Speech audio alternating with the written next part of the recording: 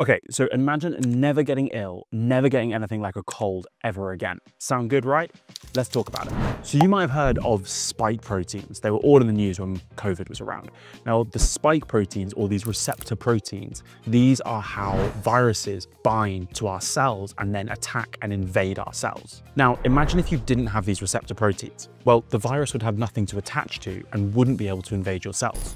We have a real case study of this the CCR5 Delta 32 mutation. It's a long name.